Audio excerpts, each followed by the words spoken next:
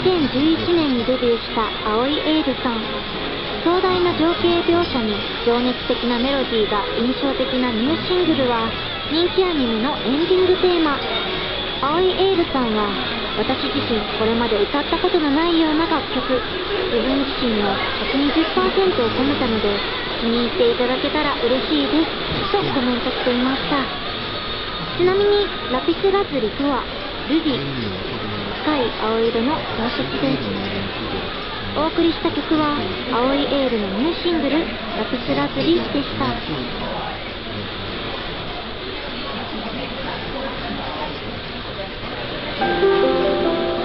続いては神崎よしこのニューアルバム「明日へ向かう人」からお送りします。明日へ向かう人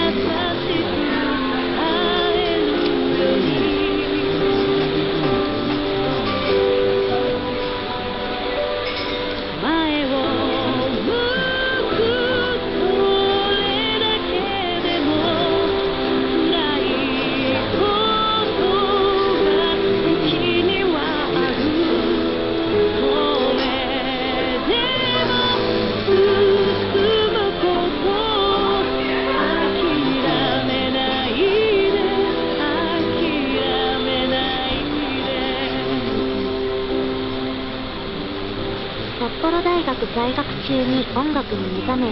単身上京したシンガーソングライター神崎よしこさん。ニューアルバムには命と向き合う歌が多く収録されています。お送りしている「明日へ向かう人」は全国のショッピングモールを回り歌ってきた彼女が出会いを通じて書き上げたナンバーです。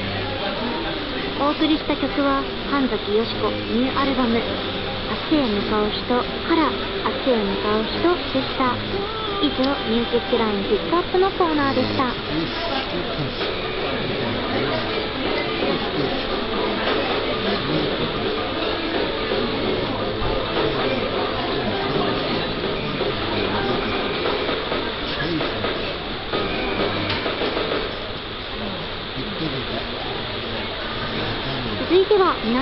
いただいたリクエストをお送りします。最初に紹介するのは神奈川県の好物はタルトタタンと貝ひもさんからのリクエストです。はい私も貝ひも好物です。えゼノタスの今夜が終わらないにいただきました。じゃあメッセージをご紹介します。渋谷にある一風変わったとある本屋さんはいつも一押しの CD を店内で流しています。あらこれは某遊べる本屋さんですかね。